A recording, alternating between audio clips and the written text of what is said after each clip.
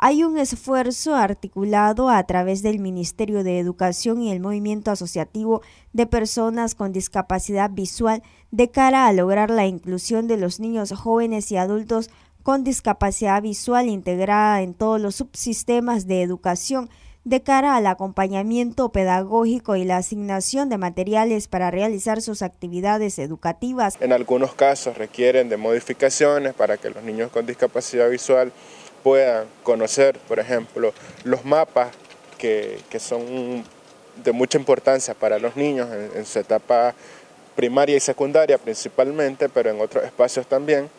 Eh, se les entregan, por ejemplo, mapas en alto relieve para que los niños puedan, este, puedan conocer los croquis de las diferentes necesidades educativas, ya sean de Nicaragua, Centroamérica, el continente americano y el resto de continentes, así como mapas climáticos, mapas hidrográficos, así sucesivamente para todas las necesidades educativas, como decía, que cada niño tenga.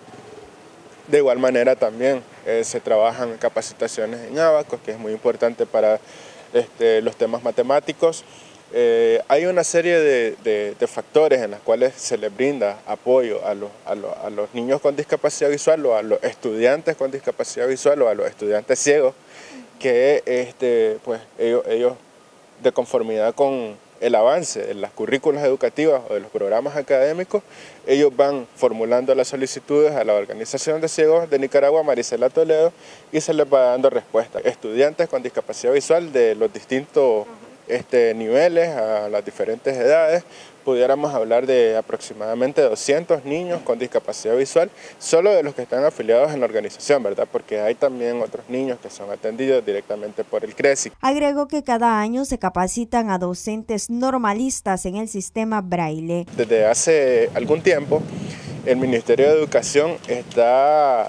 Eh, en, conjunto con la Organización de Ciegos, Marisela Toledo, está realizando una labor muy, muy importante y esto va a cambiar la realidad educativa de los estudiantes con discapacidad visual en el país.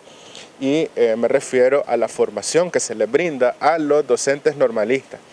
Es decir, cuando un profesor en formación sale de las escuelas normales ya tiene eh, conocimientos sobre braille, por ejemplo. También tiene conocimiento sobre el lenguaje de señas para atender a los estudiantes con discapacidad auditiva. Noticias 12 Darlene Telles.